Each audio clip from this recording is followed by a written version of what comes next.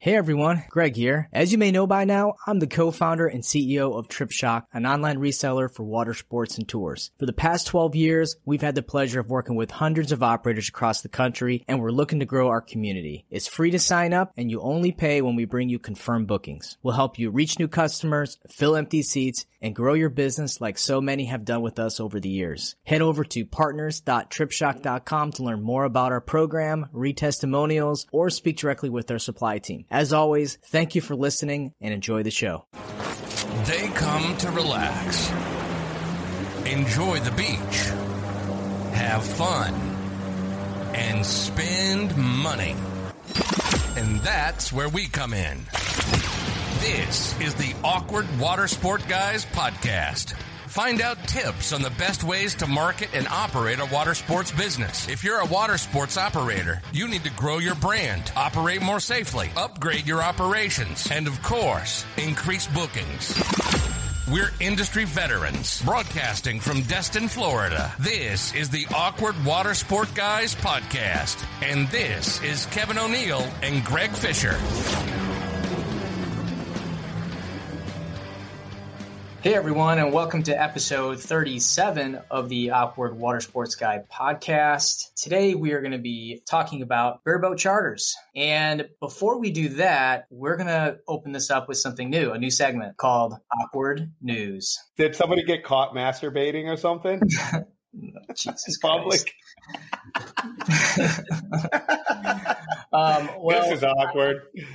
Yeah, so uh, I just wanted to talk about things that have been going on in the past week or two with uh, water sports. You know, one of the things that catches, you know, that that I'm think that I think about is the gas shortage. And at first, I was really concerned about our industry, you know, because if there's a gas shortage, then you know the ability for us to run our equipment uh, could be hindered. But I was just curious, like you know, down at the docks. I mean, I've heard there were some there were some businesses that were literally concerned about it. And it didn't seem to really be bad. Like, I mean, now we're back to normal, but did you feel any impact from it?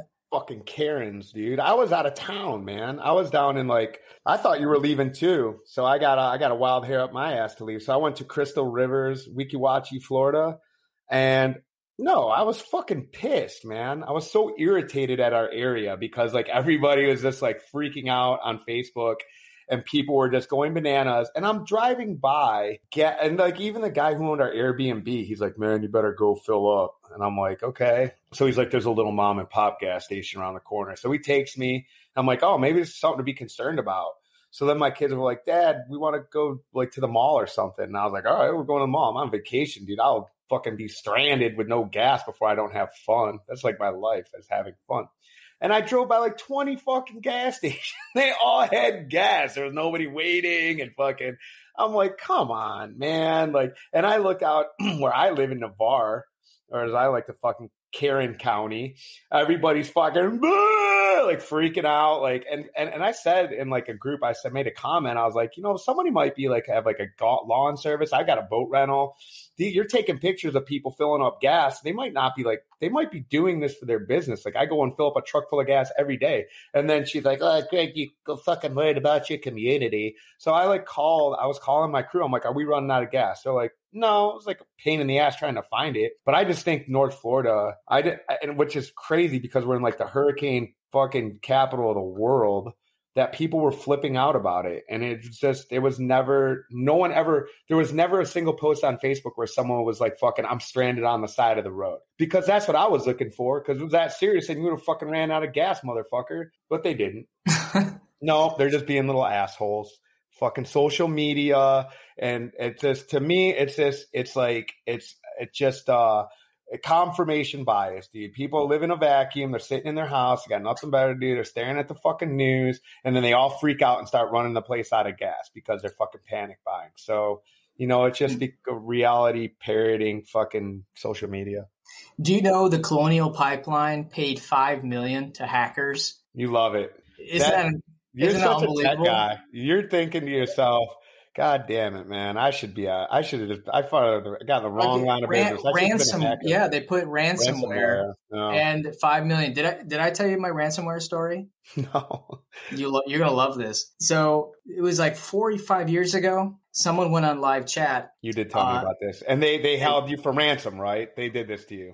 Yeah. Did I share? Did, did, I share this on the podcast? You yet? did. You did. We talked about it on the show. Okay. All right. Yeah. yeah. So I'm gonna have to find it, that. Though, tell it. Tell it for those who haven't heard the episode because it is a great story. Okay, I'm gonna do the the minute, and I'll try to find the episode to get the full story. So basically, somebody went on to our live chat and said that they had a fix for our website, and they claim that they can turn off our website whenever they want. Our agent called me and said, Hey, this guy is saying that he can turn our website off and he says it's broken. And I literally told him to just, you know, tell the guy to piss off. Pound so, sand. I think that's the first pound sand or piss off. One of exactly one of those it. two terms. So she told him that, and then all of a sudden, TripShock went dark. Like it was done for like 20 minutes. You could not use anything. I mean, you couldn't even get the website up. And so um, the, the website came back on, and he said, "See, I have a fix." And he wanted us to pay him in Bitcoin mm. for the fix. At that point, I'm trying to get anyone I can. My, my business partner Alex is involved, and he does some research and find out that this guy is running a denial of service attack. For those of you who don't know what a denial of service attack is, basically they, they send a ton of bogus traffic to your website to where it shuts it down. It overloads it and shuts it down. You'd think that we'd have protection for that, but at the time we didn't. Alex quickly installs a program to protect us from that and he still he was doing this like every hour. And just imagine like this is in the in May and we're doing a significant amount of revenue every day in May. So this guy is is having a major impact on our sales. So we uh, kind of ignore the whole thing. The guy goes away. We told him, you know, we kind of protected it, protect ourselves from it. Well, he comes back about a month later and does it again. So this is where he he really messed up. Now, keep in mind that when when these guys run these denial of service attacks, they are hardly ever caught. I mean, we're talking less than 1%, maybe even even less than that. I mean, very minimally. I mean, it's people from overseas doing this stuff. Well, we decided uh, that we were going to try to find them. And it's like, it's like a needle in a haystack at this point. But when we looked at our traffic statistics, we were looking at, we knew this guy wasn't in the US because you'd be stupid to do it in the US uh, he had to be somewhere else. So when we looked at our traffic, we found that there was this little town in Norway that had a lot of visits to TripShock prior to the attacks. So without going into detail, the nerdy, nerdy stuff we did, we found out his IP address and everything. And we contacted the FBI. We contacted the Norwegian FBI. And in fact, I'm going to give a lot of credit to the Norwegian FBI because they're a hell of a lot better than our FBI. They uh, tracked down the person they basically stormed his house. Just imagine like a bunch of agents storming like you see in the movies. That's what happened. And I'm thinking like this is like some big crime ring that we're taking down. And it was a it was a 17 year old gamer who was basically running these attacks to try to make some money for World of Warcraft. That's basically what we, we were up against. And he would just go to different sites and it was at random. He didn't pick us. He just went on the internet and found a website that offered live chat. And there's a lot of really cool things. If you ever want to know the full story, call me. I'll be happy to talk to you. But the FBI in the States contacted us and they were really impressed with the way we were able to track. He said, they're like, this never happened. Hey, hey, this guy, this kid right now, he's like, he's like 22 or 23. He just started like the fucking Norwegian fucking virgin of TripShock. He's got an OTA. He's like your younger fucking brother. Like in 10 years, he's going to be you.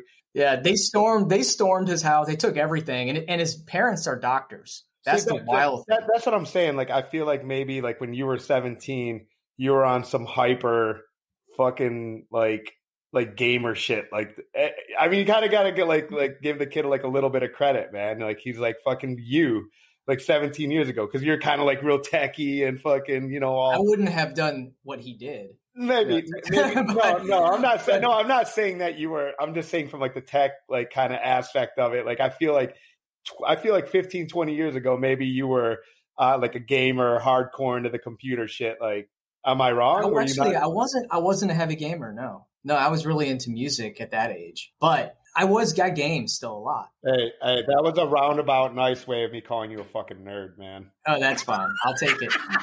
But I know. I wish yeah, I was more nerdy when I was a kid. God damn. Uh, the ransomware stuff, it's it's serious, and no one, none of us are really going to be affected by it. I mean, water sport operators, especially. I mean, the worst thing you should be concerned about from a security perspective as a water sport company is your website getting hacked and it being used as like a proxy or them extracting information or putting malware on it. Like that's the worst thing you can do. Uh, worst thing that could happen. But Ooh, you know, so it, it just you're saying that's what I should do to my competitors come like Fourth of July weekend. Yeah, you know what you can do is that you can. So this kid was buying these resources for the attacks from a company in like the Caribbean. You know, he's buying the re, and so you can buy the like for twenty bucks, you can buy you know a hundred thousand visitors and then send whoa, them to your. Hold on, you're like like I don't do this shit, but yet you know a bunch of black hat SEO tactics, like negative SEO, fucking Fiverr shit, man. Come on.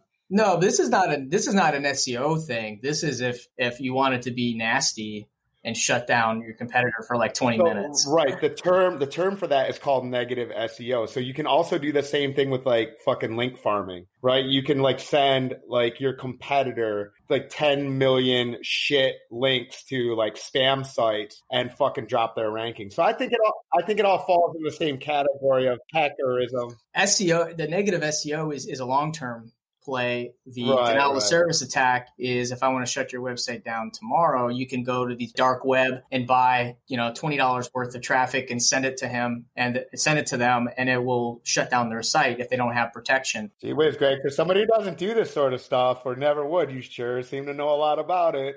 Well, I learned a lot about during this whole process of sure, protecting from this guy. Sure. it, you know, it's really important to know what the dangers are out there, so you know what what you know what to protect. But everyone thinks that it's not never going to happen to me. Well, you know, you know, you know about the security plugin that I have. Uh, I've learned a lot about web security, and that's kind of like my second life right now is web web security.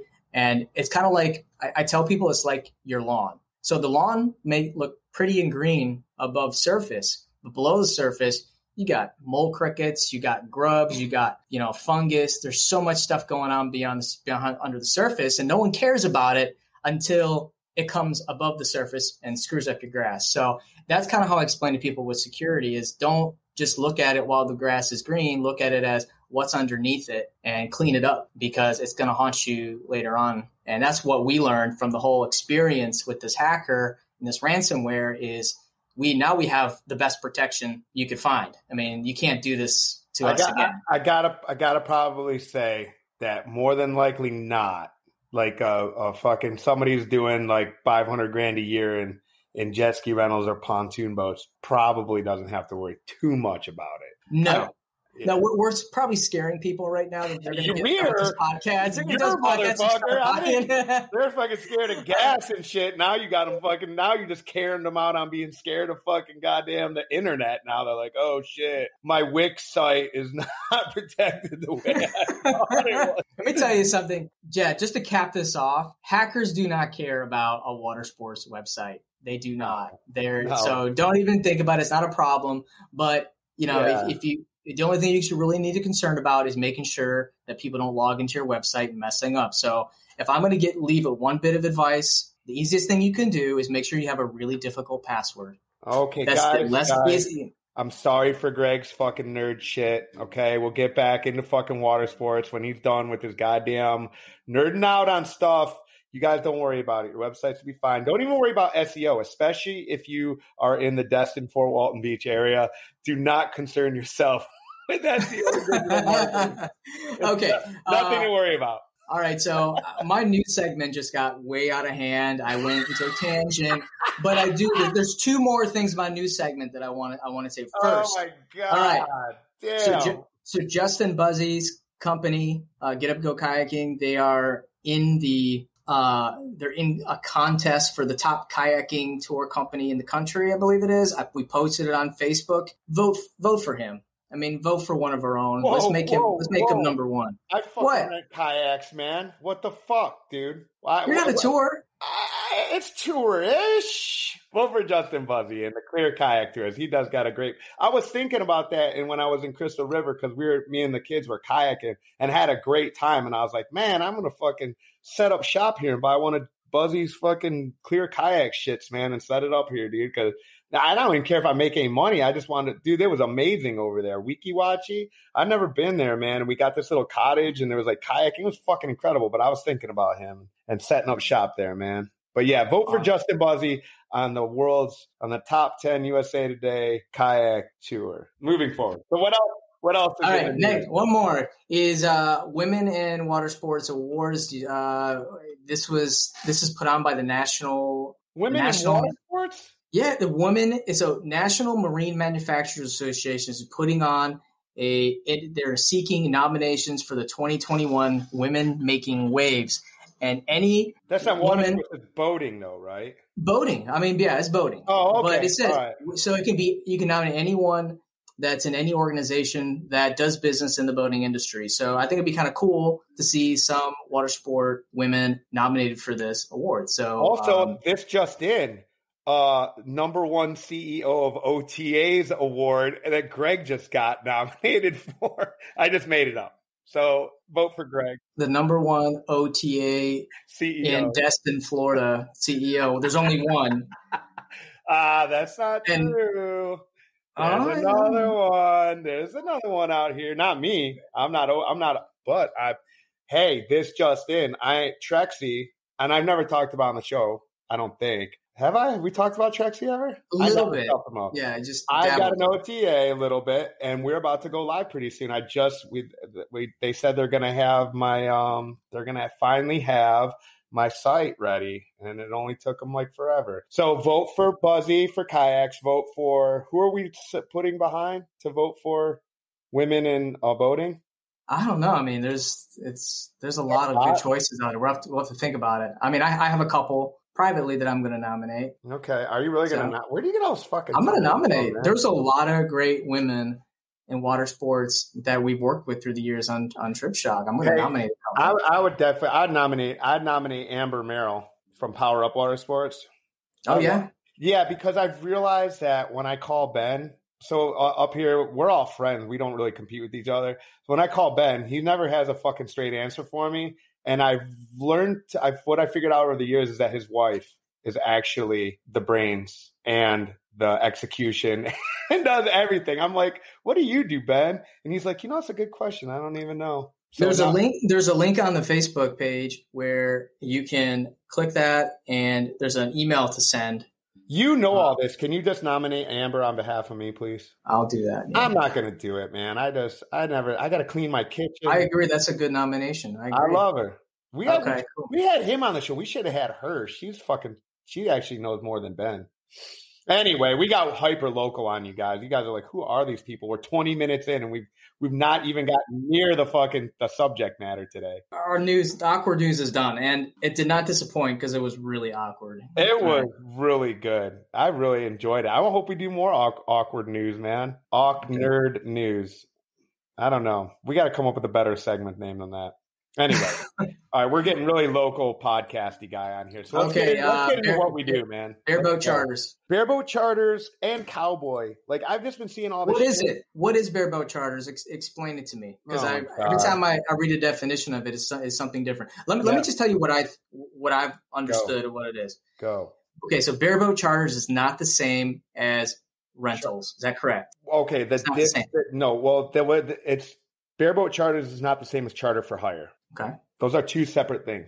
So bareboat charters is some weird bullshit in the CFR. I probably should have pulled up how it reads in the CFR, which is a, a coastal federal regulations. And I'm going to paraphrase it here because it is a very gray area in the CFR. So charter for hire is when you're a captain and you have an un you have a vessel that you are taking somebody out. It can be uninspected. It can be inspected. You're a charter boat for hire.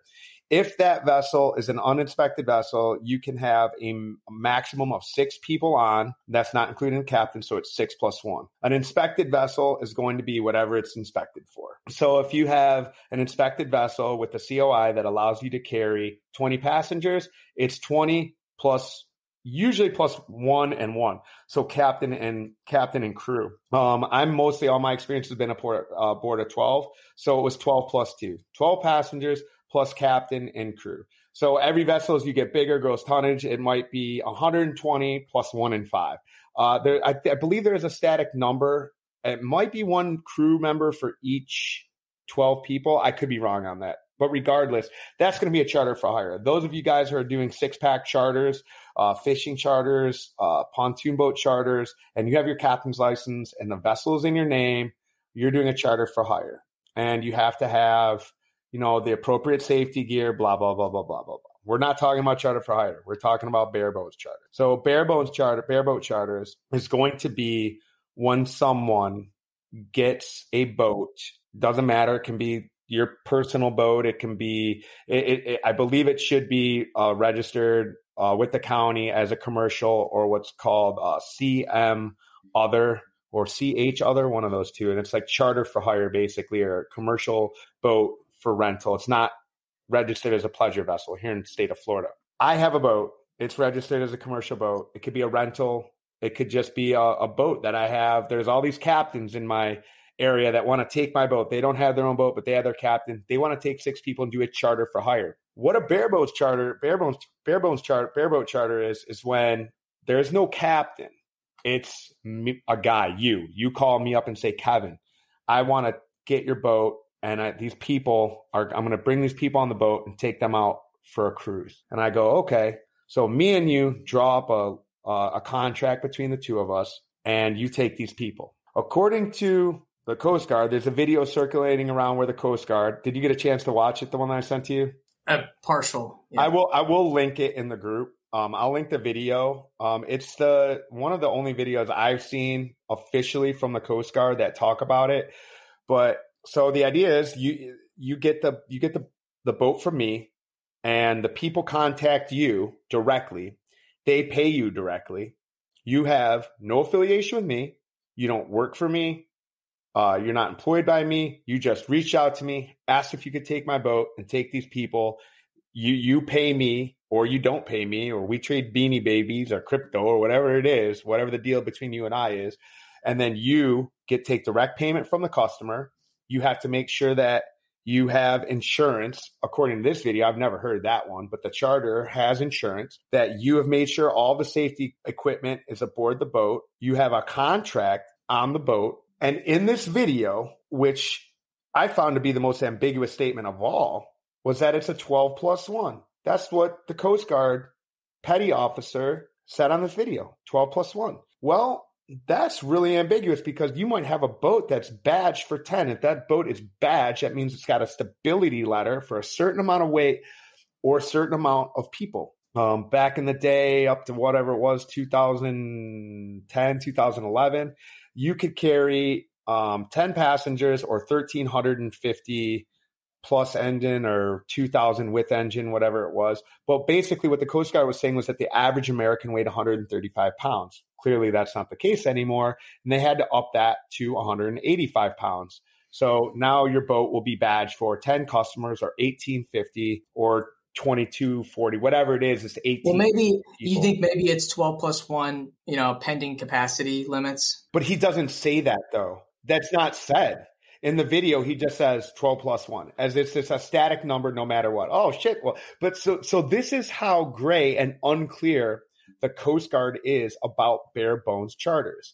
Now, if you get pulled over by the Coast Guard and you have your paperwork and you're not affiliated with the boat and you have 10 people on the boat and you've chartered the boat and you have the life jackets and you have flares and you have all the safety shit, the Coast Guard's supposed to say, thank you, goodbye. Now, it's going to be up to the petty officer on duty as how, because the petty officer on duty has the right to interpret the rules of the CFR however he sees fit. So every area this is different because the challenge is like like in Miami. Oh, sorry, my phone's ringing from Miami, Florida. For whatever reason, I'm getting spam from Miami today. I've had a 305 number. Anyway, yeah. So that's basically if you get pulled over by the Coast Guard, the petty officer on duty, the the uh, the the officer, the boarding officer, basically has just he's going to interpret the CFR. He's going to say, "This is how I see it. This is how I interpret it, and here's your ticket." And it's like God's law. So what was your question, Greg? So let's say that I'm I'm a captain and I go to you and say, "Hey, Kevin, I want to uh, use your boat to do a charter with paying customers." Mm-hmm. So I go to you. We we make a deal to do five hundred dollars for the boat, and then I take the boat from from you. I get my customers. I have an arrangement with those six or seven customers. Ah, stop though. Okay. okay. Six or seven. That's a big number. So here's where here's where it comes, right? So you're just doing a charter for hire, but now you got your ticket. Now you're a captain. So it's up to that petty officer if he wants to interpret that as a charter for hire or bare boat charter. If he interprets it as a bare boat, you can have seven. If he interprets it as a charter for hire, you have overloaded the boat and you are in you're in violation of the, the rules for charter for hire and subject to fines. What if I am not a captain? Could I do that? Yeah. I, so, so according I, to the Coast Guard, because in that video I sent, they never mention a captain's license. So yes, now all of a sudden you're a bareboat charter.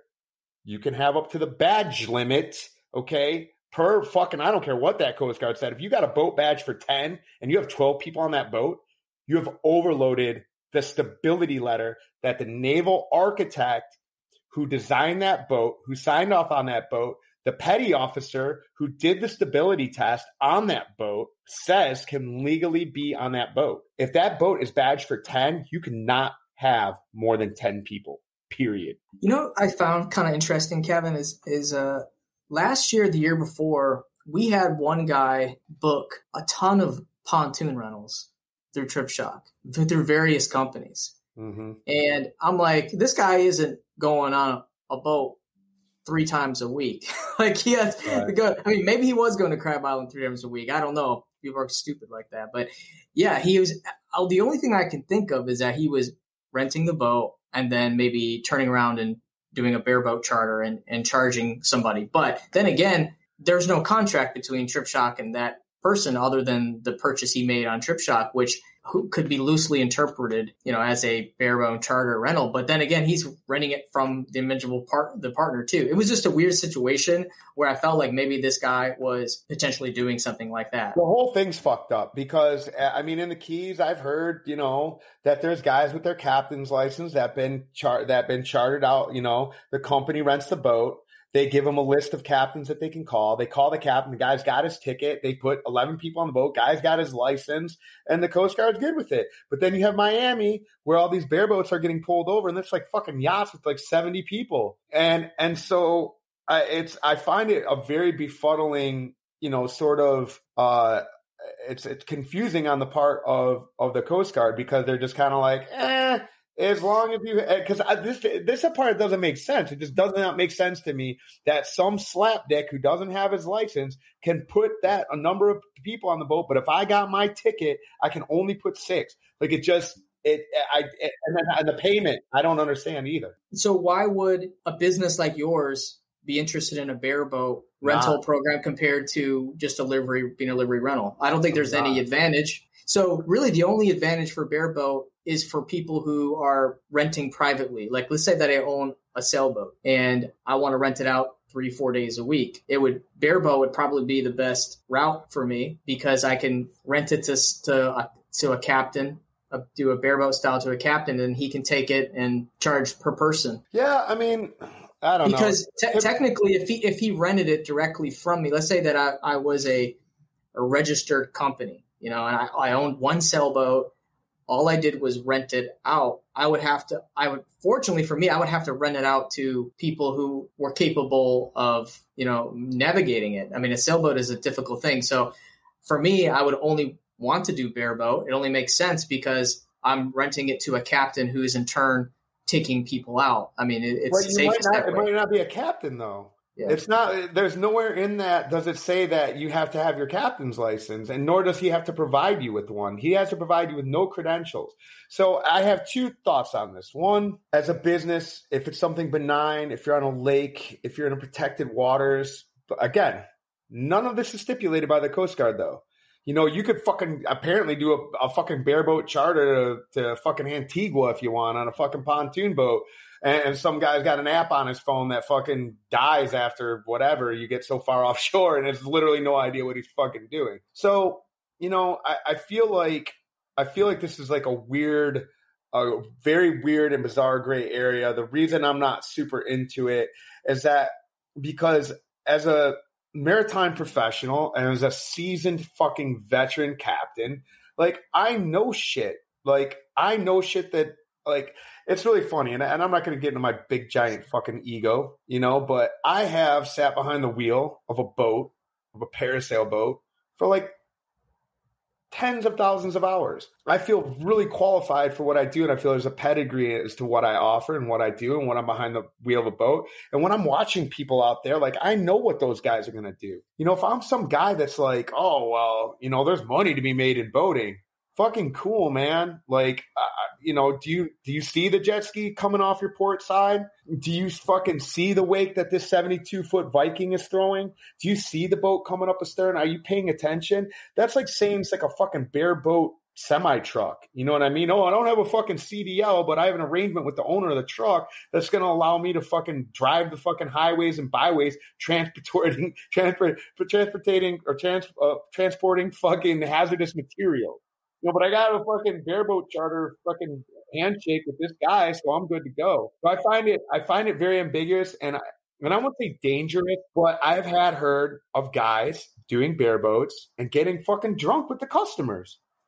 Yeah, because they have no captain's license. They have no skin in the game. They have no random drug testing. They don't have any of these things. So this guy could be smoking crack and and fucking drinking rum and putting his ad out on Craigslist and doing. And this is where I wanted to do this episode because I do see these ads on Craigslist. You know, we do see guys fucking buying jet skis and then fucking selling them on Craigslist, which I'm sorry. You know, look, I understand if you got to get, you got to get in the game somehow and there's nowhere to get slips. And, but there's a right way to do things. There's a wrong way to do things. In my opinion, getting a boat or getting a jet ski and undercutting your competition and renting fucking for super cheap because you don't have the you're not incurring the costs nor are you have to uh, uh, play the game by the same rules and live up to the same standards. That's like fucking like you know selling food and shit out of your car or something to me. You know what I mean? Like, oh, I'm cooking up steaks, man. I got the best steakhouse. Let me bring it from a different perspective, though. Let's say that I got my captain's license. I had a lot of hours on the water. I can't afford a vessel. And I form a relationship with your rental company and say, hey, Kevin, I'm a licensed captain. I want to bareboat your boats. I'll, I'll pay you whatever your rental fee is. I'm going to charter it you know, here's my credentials. Wouldn't it be good for someone who's trying to get into the industry that can't afford to buy? If you're doing it, if you're doing a charter for hire, yes. If you're on a drug consortium, yes. If you're doing everything that you're supposed to be doing and you're taking under six passengers, yes. If it's this ambiguous bullshit, it's a bareboat charter. I've got 10 people with me and I got my captain's license and fucking, and that's like because at the, at the end of the day, if you get pulled over, you're also going to ruin that that person's trip because if the if the coast guard says hey no this is fucked you know what i mean? You can't do this uh, or and, and turn around go back get the people off the boat and now you put your business at, at risk. So uh, we got a we've got a saying in, in in our industry and probably every other industry that has to do with weather and shit and it's when in doubt don't go out. And when it comes to these bareboat charters, I'm not saying that no, it's illegal because clearly this the Coast Guard sees a, a place for it. But if you're a business and you're, you know, and you're trying to maintain a reputation and, and this and, and this and this and that, you want to be professional and you want to have, uh, again, like you can't, it's so weird because if there is a reputation, I can't just say, oh, yeah, you and me are going to do bareboats. Now you're associated with me. I have to give the customer a list. They have to be able to, I can say, here's 10 captains, here's 10 charters, call one of them. They come walking up. You guys, I'm not affiliated with them. I can't speak for them. I can't say if he's high on meth or not because I don't know him. He just came up and said, Hey, give this to your customers and call me. I'll drive the boat for them if they're drinking and driving. Because there's the other part of it. You know, if they plan on drinking, wouldn't it be better to have somebody that's sober, even if they don't have their license, because that's safer? And 100%. Yeah, man. If you call me up and say you're drunk, I want to get one of my employees out there and let them drive it back for you. But guess what? Now it's a fucking charter. Yeah. And it's, it it's tough. It's really tough, you know? So I, I, what I say is, is if you want to do it, do the right thing. Get your captain's license, get your six pack. If you're on an uninspected vessel, you got six. If you're on an inspected vessel, that's, you know, and you have, you know, the proper, all of your, your, uh, extinguishers, Uh, if you got like a halon system that's all being inspected by the fire marshal every year. You're doing a hull inspection to, to make sure that the that the vessel is seaworthy. And you have a and you have a captain's license that allows you to take a, a vessel of 25 50 or 100 gross tons or less. And you have an inspected boat and you want it then yeah man go for that but I, I just feel like the bareboat charter things is, and I'm again, I'm not saying that it shouldn't be done or it can't be done. I'm just saying that it's so ambiguous within the CFR that if you have a rental and you want to get into this bareboats charters, because we've had the opportunity to do that before. And for me, it's just so much headache because if they get pulled over, there's so many questions. Like they separate the charter and the and the and the people and they question them to make sure everything's been followed. Like, what the fuck is that? Like, why even have this if there's like, okay, let's make sure they're following the rules, separate them. A crime has been committed. Like, what?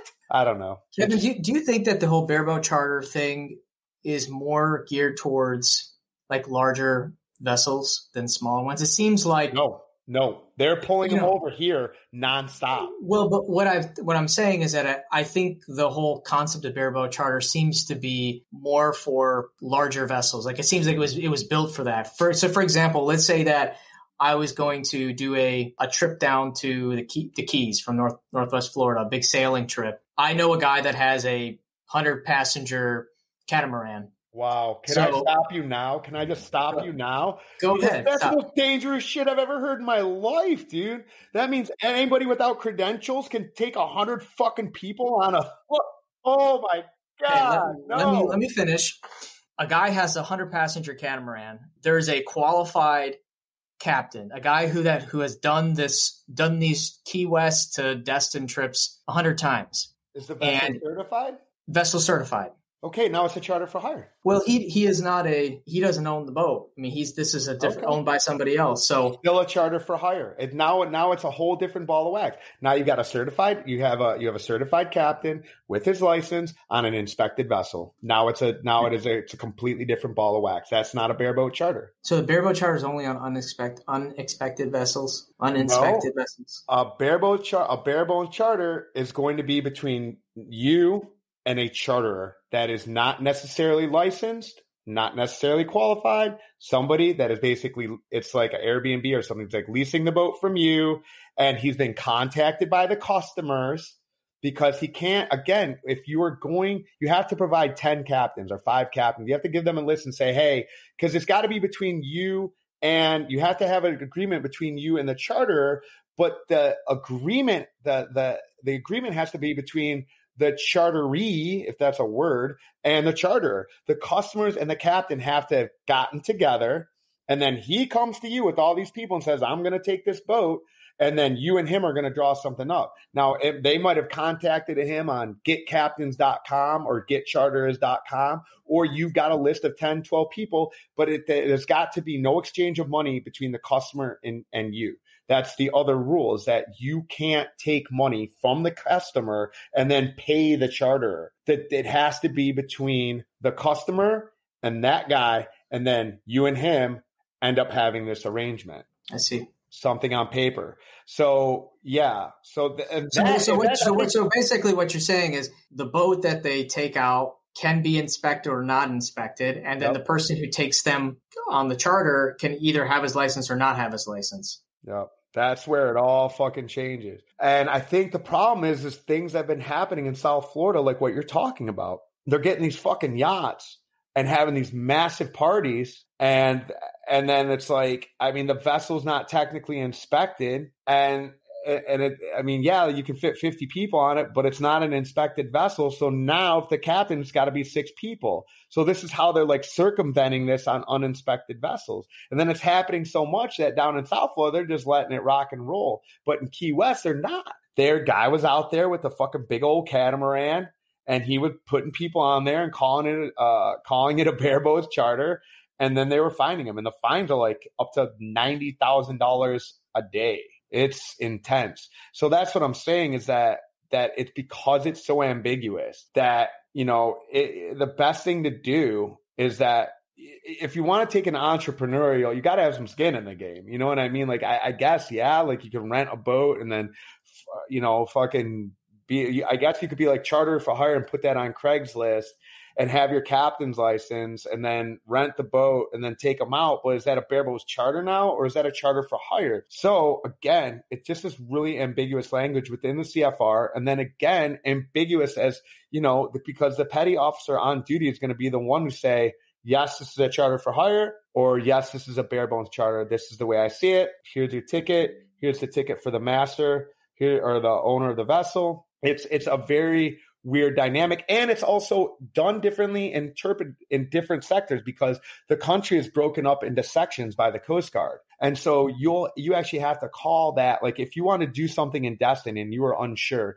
you would have to call our coast guard station in destin let them know what you plan on doing or the vessel because you what what works in a protected bay uh, because again the vessel's got to be certified but if it's near shore versus offshore versus if it's in a lake versus the protected water, because we have different navigational characteristics and our waterways are different, then those officers and those inspecting officers in those sectors have to determine what is legal, what is not legal, how the you know i mean just like in key west like they go over i was just talking about somebody today they go over like our radar arches with the and that has nothing to do realistically with the structural integrity of the boat. You can have a radar arch that's fucked up but i've seen guys that come across and they look at every weld in the radar arch you know, because the parasail line is is going over this or you know going over. Or, well, it's not going over the radar. Back in the day, they thought they had whatever yeah. telescoping, fucking whatever.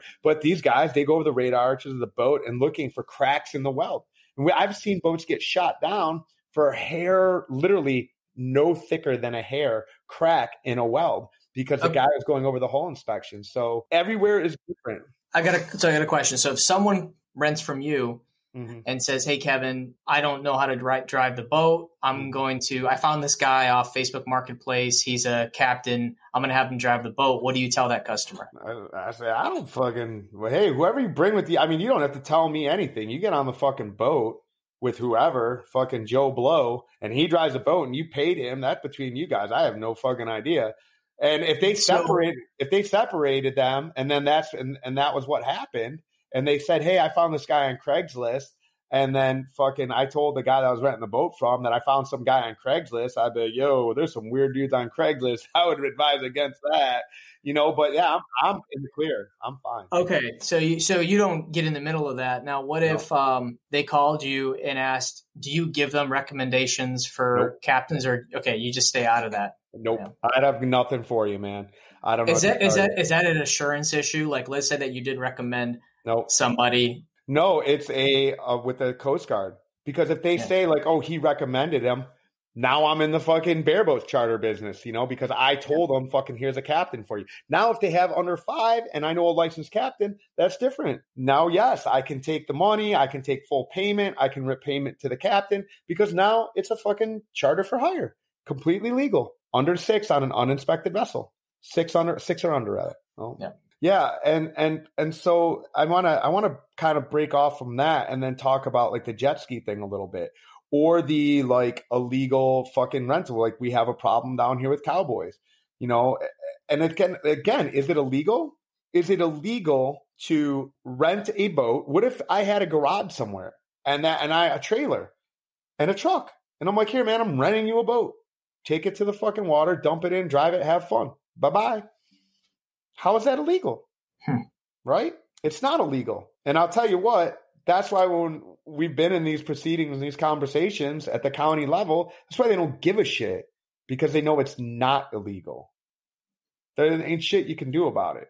If I rent you a boat out of my fucking driveway and you take it to the thing and drop it in and go for a drive, well, but the problem is, is here is they're going to figure something. They're going to figure out. They're going to put something on there. They're going to put an ordinance on there. So does it hurt the industry? I say yes and no. The reason I say it is because if you go out there and you're uninsured and fucking you cause an accident, well, it doesn't hurt my industry. It doesn't raise my rates on my insurance because you were uninsured, dum dum. You know, now does it hurt my industry from a optics perspective? Absolutely. Does it make the county want to crack down on this stuff? Absolutely if you got a ton of idiots out there renting boats on a fucking public waterway on a public park and dropping water boats in and people doing damage and and and probably that's the reason why we catch so much shit around here and why the public doesn't like us because of the dumb shit that these motherfuckers do instead of just getting a slip, getting your livery, getting insurance, and doing things the right way. No, you're gonna fucking try and circumvent everything and, and and fucking save a bunch of money and you know drop off at a public park. Now you got some guy renting boats out of a fucking public park. You know because they keep on you keep on taking that further and further and further. Now they're not coming to your facility renting the boat anymore. No, they're meeting you at the public park, and you got people with trucks and trailers, and you're dropping boats. Do you in. do you think that some of those rogue operators, like we call them, that they're using the bareboat as their ex- as their way of renting? You think that that's I don't know, man, because I don't know these guys. You know what I mean? no? So another thing too, if, if you're doing bareboat rentals, do you have to have any type of like a business license? Do you have to be a LLC? Is there any regulations regarding that, or you can just be a private owner and? I would think so because again, like that, a bareboat charter has nothing to do with the county and business level. Like, what if I live in, what if I live in fucking Michigan or Texas and I'm bringing my boat down here for 99 days or 89 mm-hmm. days? It's neither 99, 89, it's either 90 or 99 days. I might have been confusing with the 100 days summer, but I think it's 80, it's 90 days. If you have a boat in the water for or in the state of Florida for over the 90 days. It has to be registered in the state of Florida, but it doesn't have to be if it's under 90 days. So if you came down here from Michigan, well, I got a business license in Michigan. My boat is registered commercial and it's only here for 89 days. Hmm. So it, it gets very, it's very ambiguous. And so I say to that, is do things the right way. Because if you're uninsured, if you're dropping at a public park, if you're doing this bullshit, Uh, it's not sustainable first long term. And secondly, like you're gonna lose your shit. Like you're gonna lose like somebody's gonna get hurt. You're not gonna have insurance, and you're gonna lose your thing. You're gonna lose your business.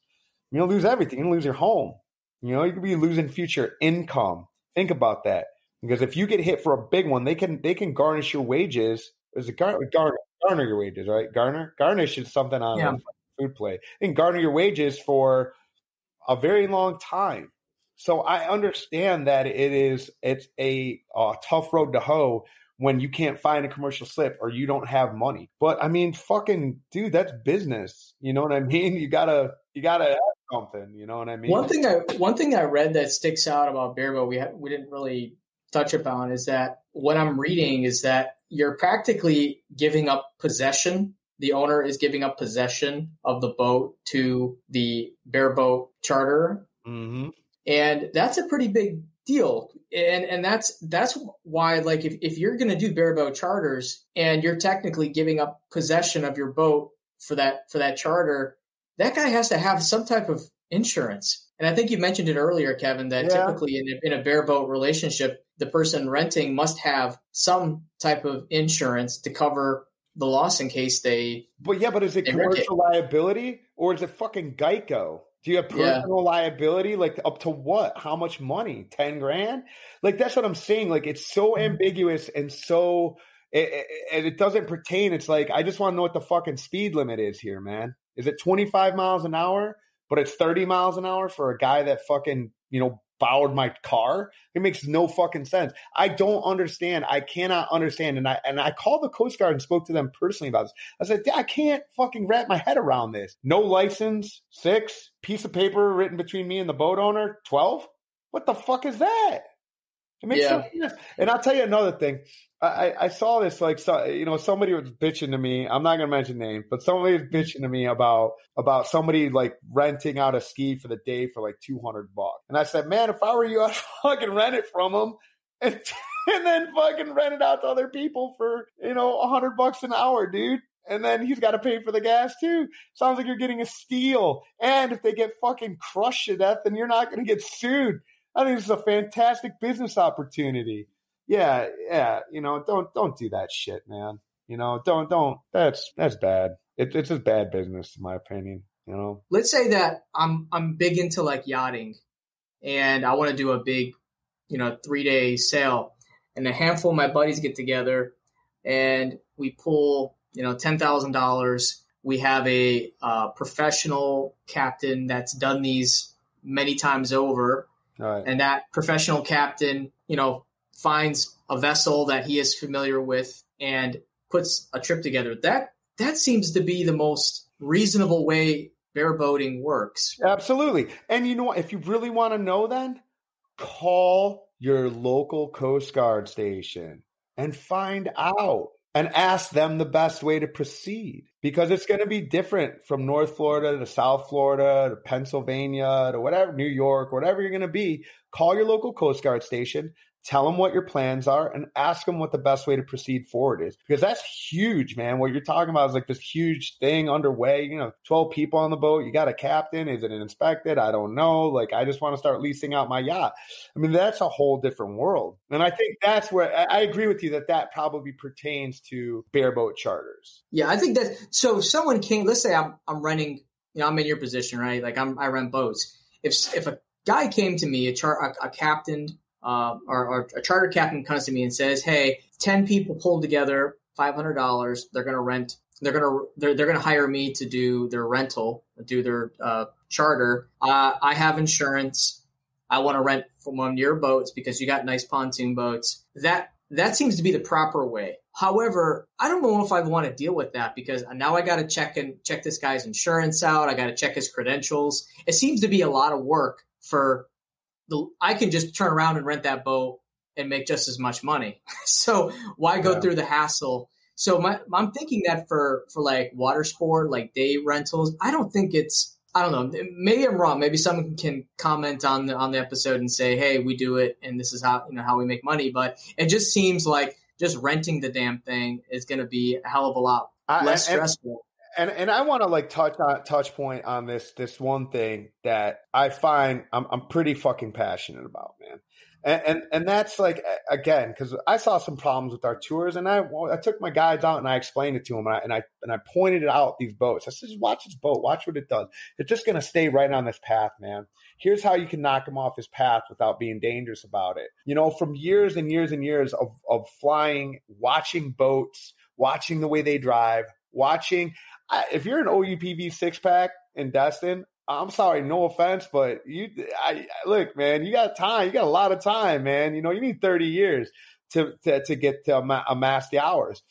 When you watch all these boats, when you're parasailing, when you are going underneath another sail, when you're going over the top of another sail, when you're watching another experienced parasail captain, and I've talked to you know, a hundred parasail captains from, you know, one year in to five years in to 10 years in. Some of these guys, 20 years in, are way more experienced than me.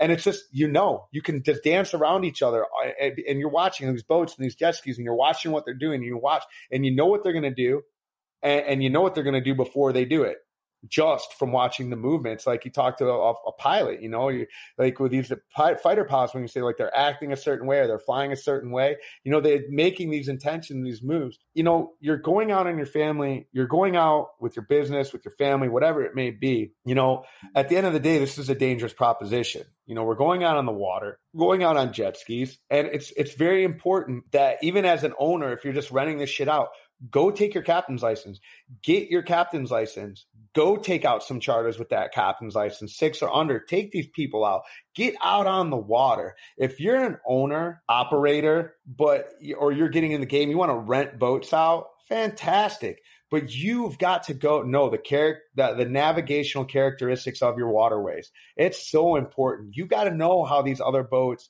we got to know where the pain points are, where the where the congestion is, where the open riding is, all this good shit. It is so important that you actually have time on the water. Like I take it, uh, the maritime industry is is so steeped in tradition. Like I had a kid rent a boat today. I was talking to him, and I was talking about a naval architect and, and the stability letter thing. Uh, this is shit I talk about randomly to other people. But the kid goes, "Naval architects suck, man." And I was like, I was like, well, what are you talking? This kid's like 20 years old. He's like, well, and he goes, uh, well, I'm, I'm going to, I'm going to school, uh, to be a merchant mariner. I was like, oh, you're going to uh, the Maritime Academy. He goes, yeah. And I've had friends go to the Maritime Academy.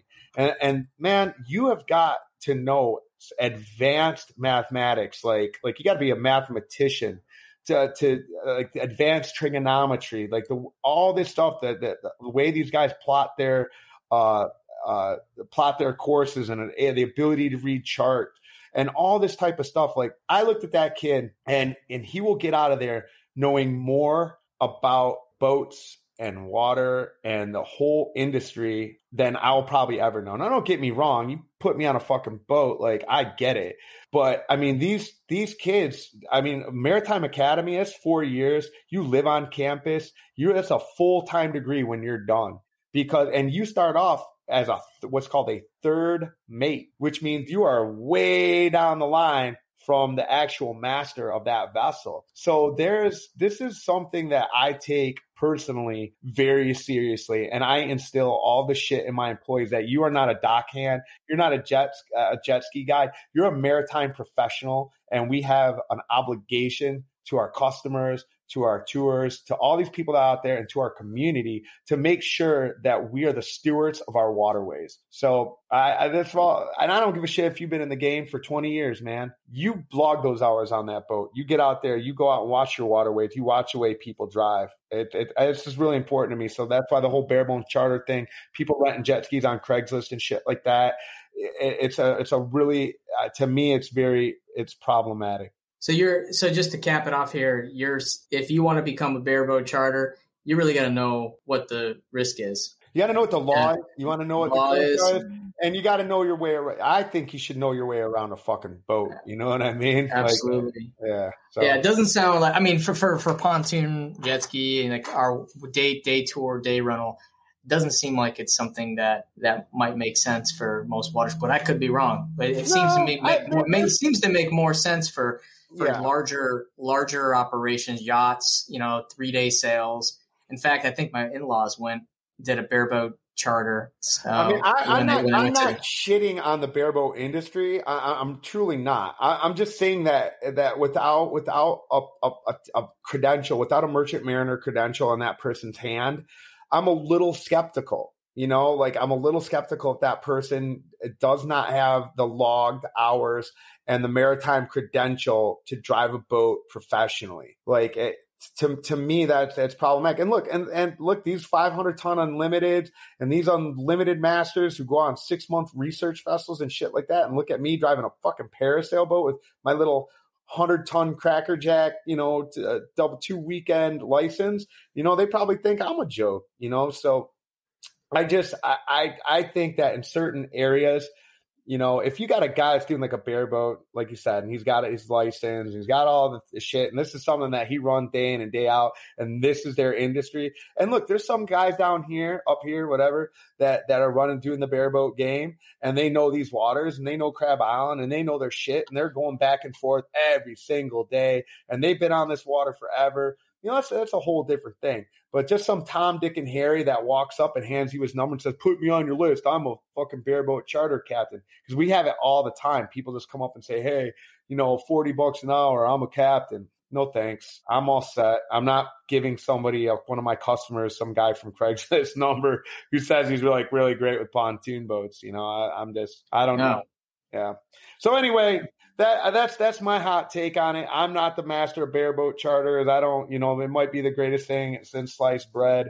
I, I just I don't I'm not putting my customers on a boat with somebody or referring my customers to somebody that just walked up and, and handed me their fucking card that they had made on Vistaprint and said, "Yeah, I do charter charter captaining or whatever." Yeah, and and you said something I think was really important. You've been listening to, to the Awkward Watersport Guys podcast. To get if you're in the water sport industry, how, how this is the podcast that brings the business perspective to parasailing, jet and, ski boat rentals, sailing, snorkeling. Um, and everything else.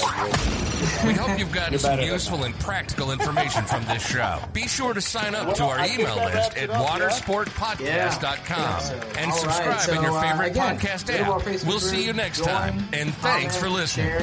let's join in the conversation. If, you have anything, uh, if, if bareboat charters have worked for you and you have some type of formula that's worked great, share it. And that's it. It's a wrap. All right. Thanks for listening. And as always, keep it awkward.